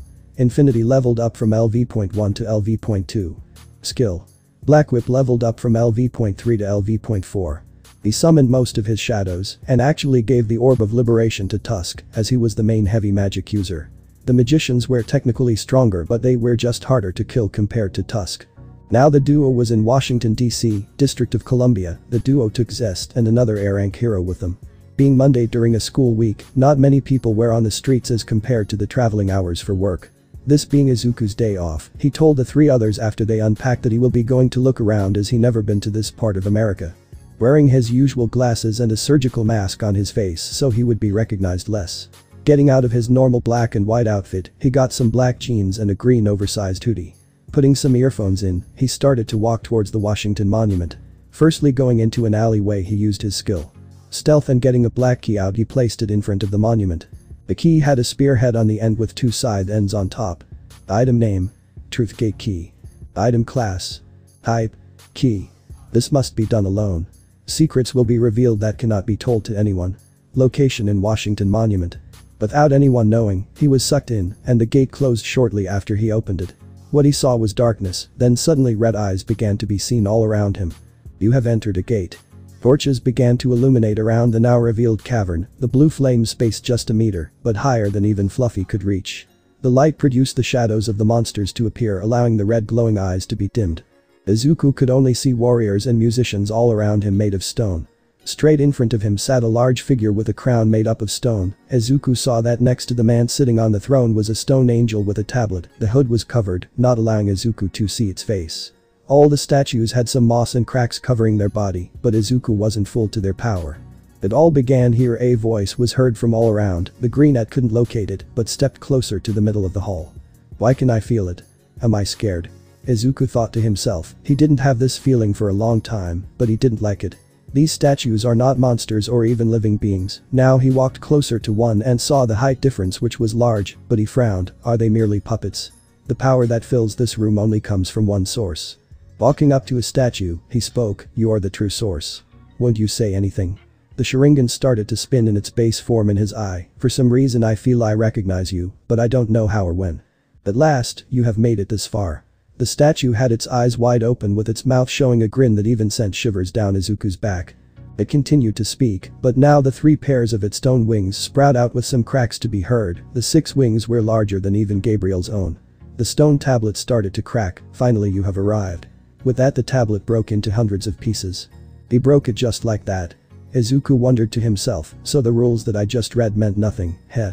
Oh it does mean something. But now it doesn't matter. The stone angel spoke. Are you the one who called me here? Izuku asked his so-called opponent. With a creepy grin, it replied yes. Are you a monster? He had to ask this question. That is the wrong question. Continuing to grin at Izuku, it continued, rather than asking what I am, you should be asking what you are. Its hand started to clap making the other statues to start moving. This will be your test. If you have managed to stand with your own two feet at the end of this test, then everything you've wished to know will be revealed on you. That will be my reward for you. With that the stone statues started to march towards Izuku. Hum forth. Shadows started to appear under Izuku for his army to come out. Not that way. This is the place of testing. It replied with a snap of his fingers, Izuku got a notification. For the duration of the final test, all of your class-specific skills have been sealed. The only thing I want to test is you. I am not curious about the capabilities of your servants. A frown appeared on Izuku's face, but he still kept his Sharingan activated, he needs the advantage of any skill to win this battle. Usage of various potions and the store's functions have been disabled. The status recovery effects from leveling up and quest completion bonuses will be inapplicable during the duration of the test. What? Now Izuku had his eyes wide open at this. You cannot exit in this chamber until the end of the final test. So you want to play it like this? I will show you why I am not called one of the strongest for nothing. With that he cracked his neck and activated his Mangekyo Kamui becoming permeable. A sword passed through seamlessly through Izuku's body, shocking the angel. What? I did not plan for the system to allow other skills than Ashborn had. The angel thought with some panic. Summoning his spear in Kusanagi, he threw the spear with his left hand with the skill. Spear throw whilst using a new skill on Kusanagi that he found out recently, elongation. With it becoming elongated, it cut through one soilder, whilst the spear crushed the head of another. Using his free hand he caught another sword with a minor application of skill. Limitless and then crushing the sword in two. Throwing his sword at another warrior, he used his enhanced strength smashing a soldier who tried to escape for naught. The sword didn't kill the soldier, so using the skill. Gravity manipulation he pushed the sword further in and created a red ball of energy that he sent out crushing the soldier with its immense pressure. Jumping away from an axe, he had to block it with his dagger's Aka. Vampire killer and T-Rex dagger in an X-shaped position, so he wouldn't be wasting MP. Pocket with it he sent a massive wave of fire that he later got the shadows from the fire making spikes impaling the soldiers, killing half a dozen. Bringing Black Whip, he sent two tendrils each at two opponents, making the duo smash into each other after being tied up. Using his gravity manipulation, he brought Kusanagi and the Lance of Longinus to his hands. Jumping up once again, he sent out two red balls of energy at a group of moving soldiers destroying them. Just used 1600 more MP for those two attacks. Though he was still had over 25,000 MP left. Using stealth, he sneaked up upon the last embers of the stone army and using vital strike, hit the last three soldiers killing them. You've grown a lot in this human body. It is really great growth. But in the inside he was frowning, how did this human obtain this much strength, he is nowhere near him, but it is impressive nevertheless. But he continued, however this was too easy for the test to even end. You like to talk. Izuku grumbled, but then his attention went towards the massive statue that was there sitting and watching over the battlefield. The height of the ceiling, a massive sweat drop appeared on Izuku's face. The white crack appeared on the angel's face, now, it's time to worship God. Then more statues started to the robe under the supposed god. Is there no end to them? Then the eyes of the largest statue began to glow and two laser that were centered at Izuku were shot. Using spring to get away, he was able to push some of the soldiers into the line of action where they eventually turned into nothing. Danger. Wait what? For some reason the warning he received allowed him to dodge a spear thrown from behind. New skill has been discovered. Skill. Danger, Sense LV.1, passive. A subconscious ability and the third gift from All Might's predecessor. It warns of the user of danger, may it be an attack to the oneself or near them. I need to deal with the giant. After a quick second a smirk appeared, the best way to deal with a gaint is to be one yourself. Then saying out loud, Susanoo. With that a black ethereal figure started to be present using 5000 MP. Becoming as tall as the statue, Izuku used his feet to crush the remaining minor statues and then with its hand prepared a punch that the large statue tried to block. Cracks started to appear and with Izuku applying more pressure to the large puppet, it started to be pushed backwards. Finally, using the spear he manifested, Izuku stabbed it in the chest of his opponent and pulled it down, allowing Izuku the win over the so-called god. How? The angel thought. Izuku had other thoughts, this power, it's just a little bit, but I can feel it. I think I'm growing several times faster than normal. With false bravado, the angel stated, so you've countered my creation in such a way. Incredible. It started to clap once again. Keep your promise. Izuku stated walking up to the angel. Hahaha. The test isn't over yet. Look, I'm still standing aren't I? It stated. An emergency quest has started. I am the final test. It spread its arms apart in a come here motion, with a notification being sent towards Izuku. Your heart will stop if you do not defeat the enemy in the allotted time. Time remaining. 10 o'clock. Who the hell are you? Izuku asked with a frown on his face. Time remaining. 9.58. I told you that was a silly question. Fine I'll answer you. Me? I am the creator of the system. This was said as the same time as a message was sent. I am the creator of the system. Are you satisfied with my answer? The angel asked, whilst its face started to crumble, revealing a wider face without the cracks from the stone. Are you satisfied with my answer? Outside at the monument in Washington, D.C. Shivers were going down everyone's spines, like a sweet embrace from death itself holding its scythe to your neck. Mama, what is this feeling? A young child asked whilst trying not to freak out. Her mother is no better, I am not sure honey, it would be better if we leave this place. With that she picked up her girl in her arms and fast walked off with others doing the same. One of the civilians, someone call the heroes, this feeling isn't good. Inside the secret gate. The wings started to go into themselves turning into three more pairs of arms, similar to Mezo's quirk. Danger. With speed that barely were seen by the Sharingan, the creator of the system rushed at Izuku and with five hands tried to smash into Izuku's chest. He was lucky that he had Limitless activated otherwise he would have some bones splattered, but apparently the level of the technique allowed Izuku to be pushed back a little from the force of the punch. After that Izuku that had Limitless still active, went into a quick hand-to-hand -hand fight with the creator. Not wanting it to get the upper hand, he summoned Samehada and tried to get some energy out of the monster. Quickly turning Limitless off, he used some of his MP to grow trees blocking the movements of the X-Angel, with using fire manipulation to burn everything stuck in the binding embraces of the trees. Due to using a perfect Susanoo and having to use Limitless for an extended period of time, he had to resort to skills that barely need MP. Danger. Using the basic form of gravity manipulation, he pulled himself out of the way with sending some black whip to try and ensnare his opponent up. My, my. You're exceeding my expectations. Izuku used sprint to maneuver out of the way of the creator just in time to miss an earth-shattering punch. For some reason, the red from the Sharingan started to merge with the blue of his system eyes causing a deep purple to be emitted from his eyes. With this unexpected boost, he landed a punch in the creator's face. It doesn't matter, whether you kill me or not the answer that you will receive has already been decided. The figure stretched its arms out with them grabbing eight weapons from axes to swords to spears. How were you able to plan everything? And was it you who sent gates on earth and only keys? He then summoned his spear and the vampire killer into his hands. It wasn't me actually. I am simply the designer of the player leveling system, my plan was perfect until that gate. The almighty creator helped you out, which my calculations didn't account for. It continued to speak. Time remaining. 616. Danger. Let us fight to the utmost in the remaining time. The voice came from above, a purple sheen was covering the body of the designer, whilst all of the weapons were headed straight for Izuku. Jumping back, the designer missed but jumped straight towards Izuku. What's this? My senses are getting sharper. I can do this. This battle was taxing for Izuku, his HP dropped by 6500, with some bleeding occurring, with his MP being lower than usual too. Sword, spear, slub, axe, hammer. I can feel it. Moving a step back, his movement so this is the power of the Sharingan. He is blocking and dodging my attacks with his own power. The designer thought with some worry as some of his body started to crack.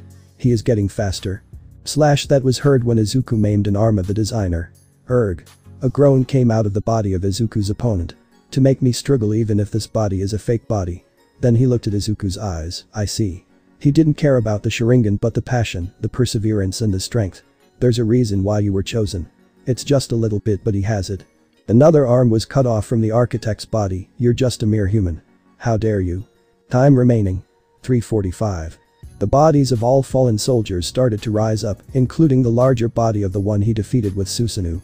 Time remaining. 338. Time remaining. 329.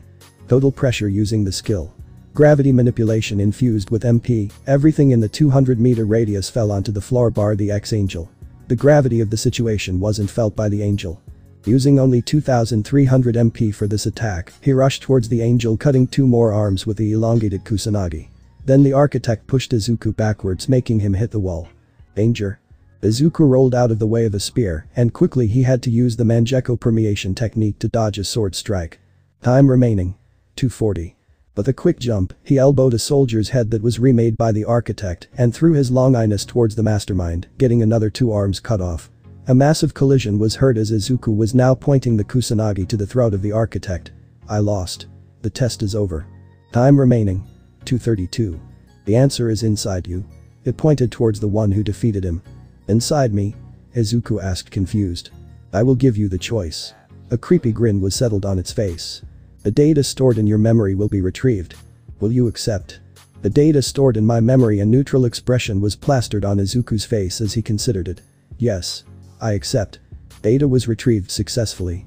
The gold light was produced from where the architect was laying, Izuku's hair was blown backwards due to the intensity of the pressure being emitted. Memories. Purple skies, with dark clouds on the horizon. The earth was only rock with no greenery, the only thing you could see was the monsters marching to a direction. A white translucent figure of one Izuku Midoriya could be seen hovering above the monsters, with one thought in mind, there are so many monsters gathered here. Then when the monsters were suddenly looking up, Izuku turned to that direction and had his eyes wide open. A massive white portal from the skies opened up, then another and another. On ground there are monsters such as the elves, orcs, goblins and the giants. If all the monsters here came out of a gate at once, humanity doesn't stand a chance. However the ones they were facing were not humans. When cracks appeared in the portals, white feathers came out with hundred thousands, if not millions of angels came flying down. There was one faceless one leading them all, the other angels had some kind of metal on their face masks. There are more angel types. In truth the monsters combined their strength to fight the angel type of monsters. This is war. The sound of weapons clashing and armor breaking was deafening. Shouts of victory soon turned into screams and groans, and the ground was dyed red. The angels were too strong, so after the complete annihilation of the monsters seemed inevitable, the advancement began to stop, one by one. The man riding a horse in all black with black and purple shadows came closer, one simple command that Izuku knew arise. With that the monsters all rose up and with the monarch's territory, a new army was formed. He is the previous shadow monarch. Izuku thought to himself. The immortal army of voice once again was heard from all around Izuku. The monsters' sacrifices did not end with death and their blood was dyed dark to create this power. This is incredible, I am nothing compared to him. The monsters crawled out from the brink of death and rushed towards the silver soldiers. Both armies entwined on the battlefield with the monsters not losing as badly as they cannot be killed, so it became a one-sided massacre. An appearance of a single individual changed the tide of this war completely. Once again the command arise was said, now the angels who perished against the monsters rose up to fight against their old comrades in arms. The gravitational pull that Izuku has was seen used as the previous monarch crushed some of his enemies into paste. At the end no angel remained, and the faceless mask went back to where it hid. Outside the gate. The Authorites that came to felt the buildup of ungodly amounts of power coming from the memorial. Star and Stripe even appeared due to Izuku texting, he will be near the memorial beforehand, and now she couldn't even contact him. Some of her sidekicks also came including Zest and surprisingly the Playboy hero. Captain Celebrity the current number 8 hero of USA appeared too. What's this? The voice sounded from all around them, making everyone freeze and look around. I don't remember inviting humans in this area. Of course it is an external affair after all. A blue portal the size of the tower opened up, with a figure coming outside frightening a lot of the onlookers. Monsters controlled. The monster understands human speech. A couple of peel past sweating bullets. Hush now. Yule interrupts the king's slumber. A teasing but scary grin appeared on the architect's face, he also had his finger over his mouth in a hush-hush position. King? Kathleen asked. Come in if you dare. You will see the king soon awaken. With that the monster went into the gate, confusing some of the onlookers. Where is Izuku when you need him? Kathleen asked to no one in particular. It was a surprise seeing who answered, darling is inside already. It was Gabriel, the only shadow that asked to go look around and stay with Izuku. Why are you not with him? Star asked. Frowning, I couldn't sense Darling, even if he is in a gate I could usually feel him, but before now I couldn't find him. With that Gabriel went into the gate, followed by Kathleen and Captain Celebrity. Some people shrugged and went inside. Monarch? What is he doing over there? One hero asked, they saw Izuku standing with a purple glow around him looking down at the crater. When the people saw his eyes they saw that he wasn't in the real world for some reason. Darling? What did you do to him? The angel asked the monster. Then a slash came from the architect but was blocked by Gabriel's sword, not allowing anyone to be cut. You are a strong servant. You will be a fine use for the king. Gabriel just frowned hearing that. But Izuku.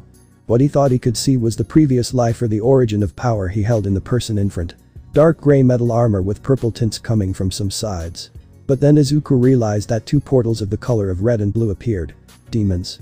Is it the opposite side of the angels, like did they have a tower too? After the demons appeared a large white wolf with red eyes come next, it was three times the height of Tusk.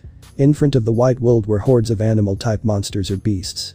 For some reason the army of the White Wolf was standing opposite Ashborn, what is happening? Then the formed gate. Gather all of your power. Star shouted, move the injured to the back of the ranks. During the minute after the declaration from the architect, hell broke loose. Luckily no heroes were killed but injured yes. It was from mainly from Gabriel and Kathleen being able to slow the monster down with Captain Celebrity helping with long-range support. Suddenly the broken figures of the armored statues began to form with each other forming the warriors. Shit, the statues are coming closer. Captain shouted to everyone. I will give you all a chance to watch the glorious king's birth. The architect spoke whilst the large figure of the throne statue stood up ready to attack. Which will be when all of my puppets have been destroyed. This is also provided any of you are still alive by then. A grin appeared on the largest statue with its eyes beginning to glow. Everin dodged Kathleen shouted. With that they tried to move, but with Gabriel's protection spell Guardian Mirror, most of the death rays were sent to another direction. Whilst that was happening, Zest tried to punch one of the statues, but nothing happened. It's stronger than I thought. These bastards, their physical resistance is normal. One of the elemental heroes shouted. Everyone be careful. Kathleen barely smashed one statue in pieces, I gave a lot of power into that attack. It barely broke. The only shadow produced thousands of light rays above her and started to shoot down the stone statues including the architect.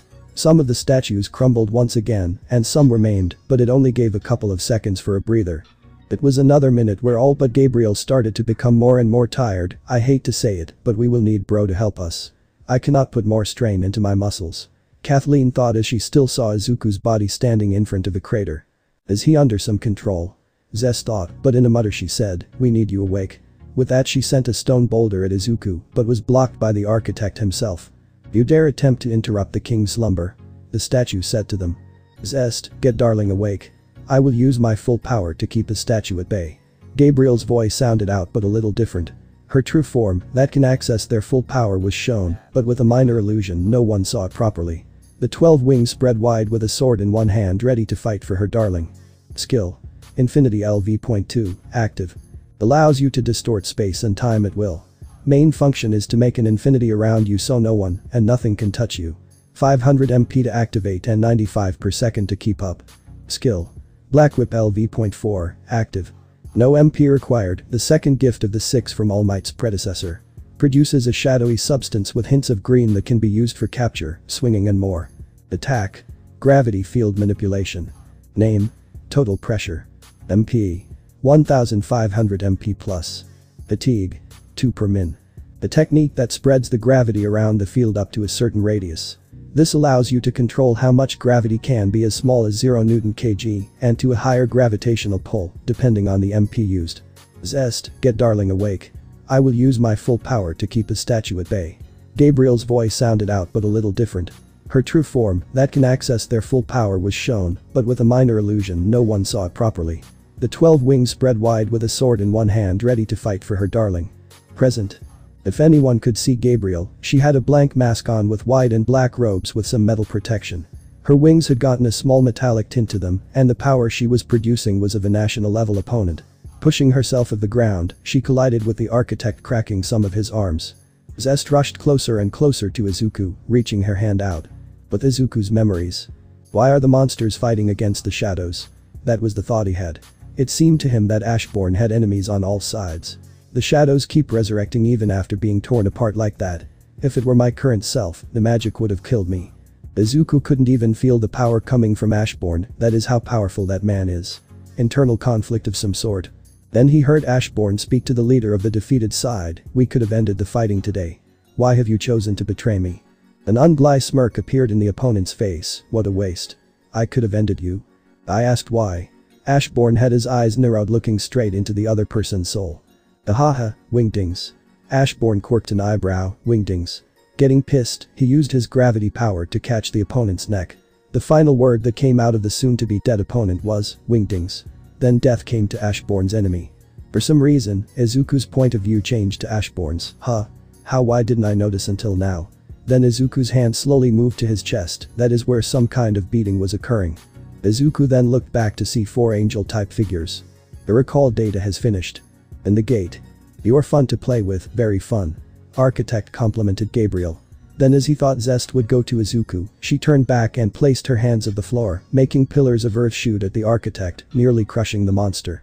A puny trick. When will you finish already? Humans are no fun, no fun at all. By design predicts and responds to any result. Star was just catching a breath as she produced a vacuum area in front of her trying to affect the monster, but to no avail. These small attacks have no chance of breaking my design. Zest took this chance to actually try and wake up Izuku, though the monster was fast enough to catch her, even if the distance to Izuku was around 2 meters. Luckily for Zest, she was able to jump away from the arm that descended upon her. You're pretty good avoiding it all. Then his eyes widen as something, more shadows. So the king assigned a soldier to her.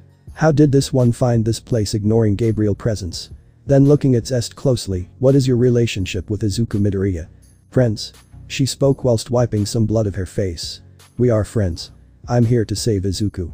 Was that not the king's intention? Fine I will give you a chance. Today, one of the great monarchs is going to descend upon this world. Izuku's aura started to grow every second, purple wisps of energy started to leak from his body. I will give you the chance to witness this glorious scene. But for everyone else. It was chaos for them, especially Gabriel taking the front of the attack with Star and Captain Celebrity. They will all die where they stand. According to whom? A voice spoke out. The architect looked questioning. Then a powerful fist of energy descended upon the architect's face. You, what did you do to my body? Purple smoke came out of Izuku's body with his eyes having a deeper purple in them, with an occasional ring or two being seen. Everyone had their eyes widen at Izuku, but most of them had smiles seeing that they will live another day. Izuku was crushing the architect's face under his foot. You're not the king. How could you stand in that place instead of the king? How can you maintain your ego while having a black heart? The architect asked. Black heart. Is this incredible magic thanks to this heart? Izuku thought to himself. The conditions have been met. You have remembered how to defeat both heavenly and demonic armies. The power has acknowledged you as its owner. Effect. Black Heart plus 100,000 MP. MP. 131,310. It is obvious from his reaction that he didn't mean to bring out the Black Heart and the Black Heart inst supposed to make me stronger. The data he recalled didn't answer my questions. I still haven't heard everything. Then with a slight narrowing of his eyes, you said you were opposed to choosing me as a player. But what exactly is a player? What were your intentions? No Shadow Monarch, you do you think the other monarchs will just stand by and watch? Architect shouted. The only response was Izuku summoning all his weapons and pointing them at the architect with his gravity powers on full display. Just answer my questions. Ahaha it wasn't supposed to turn out this way. I think I know why you were chosen. The other people in the gate looked around at the statues, ah. What? T the statues. Then someone spoke, the statues that were still are starting to move. Ah, if you kill me, no one will be able to stop my puppets. Will you still kill me? The confidence in architect returned, but what Izuku said next shattered that belief. What if I kill you first, and then your puppets? If you kill the creator of the system. I could go back to being a quirkless person huh? I've thought enough about that too. But even if the system's creator disappears the system that's already been created won't fall apart. Architect's eyes widened at what he was seeing. The system has blocked the creator's axes. The system has blocked the creator's axes. The system has blocked the creator's axes. The system has blocked the creator's axes. How can the system this was bad news for the, the system's creator, as no he has no control over it. Yes, I've thought about that too. I said I'll devour the system, but it seems that your design had flaws. No. You. It screeched but all of the weapons started to slash, stab and skin the architect, prediction no. The prophecy. When the pillars of fire are built the heavens and inevitable death shall find you. Of course with that the architect died. Outside of Washington Memorial. They have been there for over an hour. A B-rank hero stated. Just what happened there? A policeman asked. Then the group started to get out of the portal. Before Gabriel left she kissed Izuku's cheek and went into his shadow. Can you help us, a lot of us are injured. Star asked the medic team that was there on standby. Injured? Yes yes of course. Some officers said. The system that architect built is gone, but now the system is under my ownership. And I still don't have all of the questions answered. Izuku thought as he walked out of the portal with his shirt pretty cut up and bleeding from his head a little. 60% of the top-ranked heroes are injured, some nearly on their deathbeds.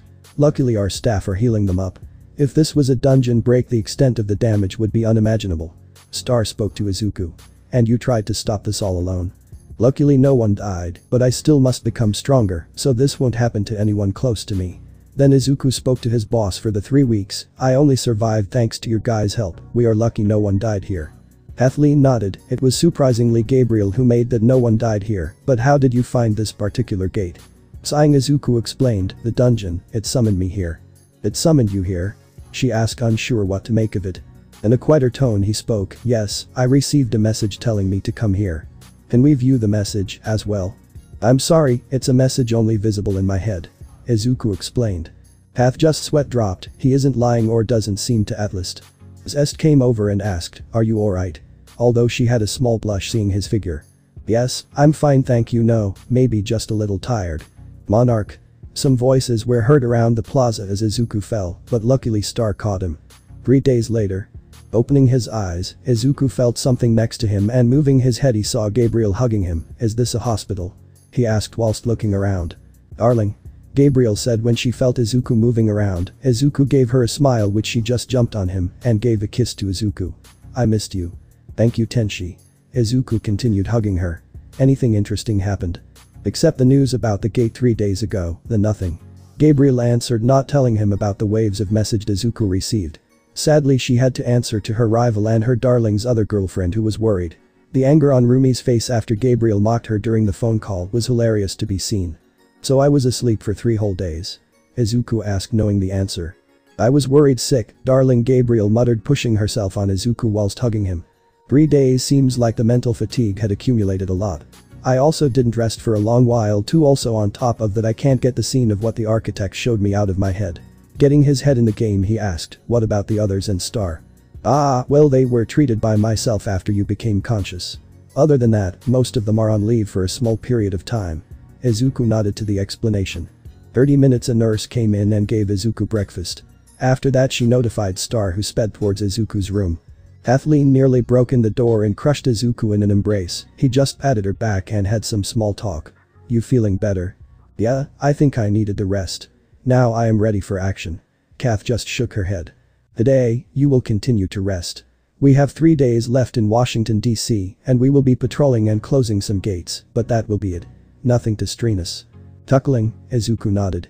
Kathleen left soon after to do some paperwork whilst during the day Izuku got out of the room and conversed with other members of the raid, thanking them. Next day. We will be doing a B rank gate, with the both of us it should be easy. Kathleen explained. Ten minutes later, the blue gate turned red with only the two inside, Izuku gave her a deadpan expression, I jinxed it, didn't I? Sighing, Izuku cracked his back ready for some action, at least I can use my shadows for this gate. On the outside. For fuck's sake Star you jinxed it and now it's an S-rank gate, one of the government workers shouted, causing others to sweat drop. They should be fine right? Zest asked. One of the sidekicks spoke, Monarch and Star and Stripe will be fine, what will an S-rank gate do to them when both don't need to look out for any casualties? The realization made them all sweat, this could really go really well or to hell, Justin they knew. Inside the gate. You have entered a gate. Feeling the energy around the Mizuku side, so S-rank red gate. The last one was around low to mid S, I wonder what strong opponents will be here. Star just looked at Izuku, yeah, my luck is shit. So this is a red gate, a proper wasteland he. Izuku just nodded, looking around it seems to be a wasteland. Fires from buildings with lava spraying out from different locations. So let's get the boss and get out. Otherwise we will spend days here. Isn't a day here an hour outside? Izuku just nodded.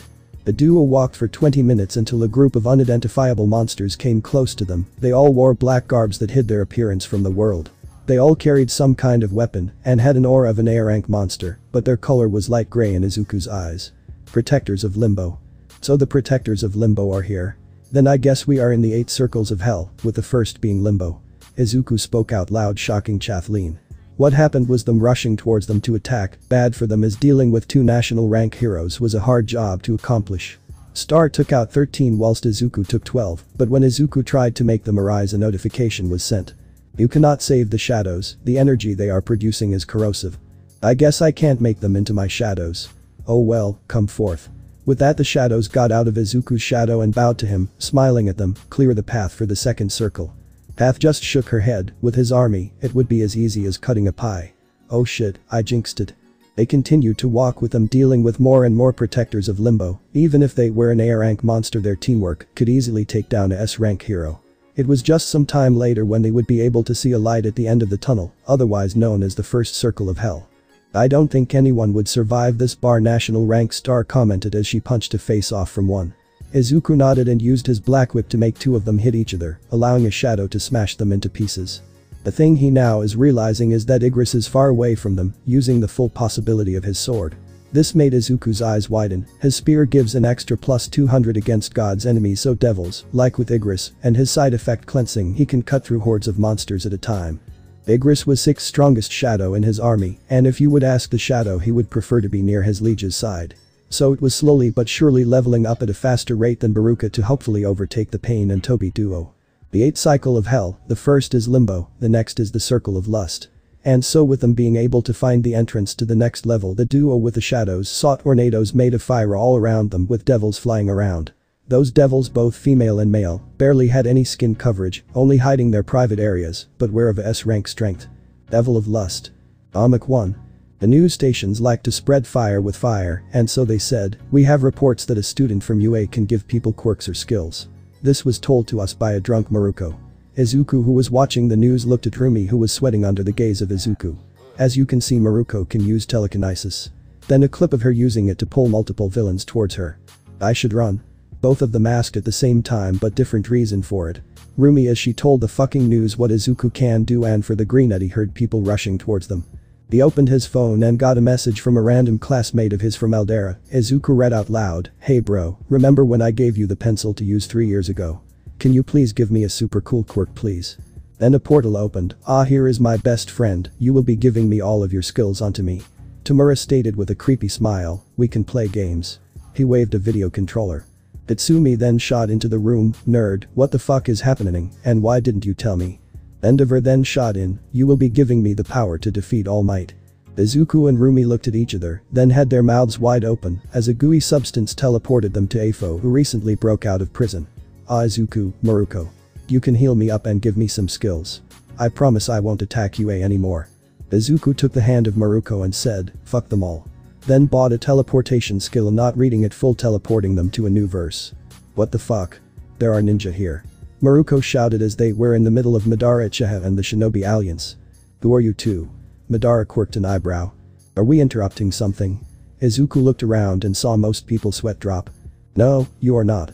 We are definitely not in the middle of a war. Kiba and Izuku yelled out. Both Rumi and Izuku blinked, the fuck? How did you teleport us here? Don't ask me Izuku explained in his defense. Boy, Whiskers who is the guy in the red armor. Rumi yelled looking at the brightest uniform in the Shinobi Alliance. Who are you calling Whiskers you rabbit? Naruto shouted out. That was a shit comeback. Izuku spoke out loud. I agree with you, what is your name? Madara asked from the top of the hill. I am Izuku and this is my girlfriend Rumi. Who may you be? I am the ghost of the Uchiha, Madara Uchiha. He then showed the red eyes that Izuku owned too. You also have those eyes, cool. Izuku spoke in fascination, showing his own red eyes Aka. The Sharingan. Why don't you two join me? I want to create a world without wars, suffering, but the guys in front of me don't want to do the same. Madara explained, another pair of Sharingan and strong people wouldn't hurt. Naruto then shouted, we want peace, but why are we fighting again? He rubbed the back of his head sheepishly. Sakura just bashed his head, is so you won't have that fox ripped out of you, and then they will have all of the Biju. Izuku and Rumi looked at each other then at Madara, we are in. I need to fight the Biju anyways, so when you get them out can I fight against them? That is what the key for the Biju gate said. Madara had his mouth wide open, it was simple getting two strong people to his side. I will be making them go into one, so a ten-tailed. After we do that you can fight me who will have the ten tails inside of Sure thing, I cannot wait to dance. Izuku and Madara had the same smirks. Oh but first, come forth. The next thing made a lot of the shinobi piss their pants and Madara to be glad that they are with him. Shit tone of shadows was all against the shinobi alliance. 20 minutes later, okay now we have the 9 and 8 tails, it was simple. Looking behind everyone was defeated with ease, Madara just nodded. It was a fun day being Rumi and Izuku. Madara got his wish to fight someone strong, and now Izuku and Rumi are discovering the different universes. That's it guys. Thanks for watching and supporting us. See you in the next part.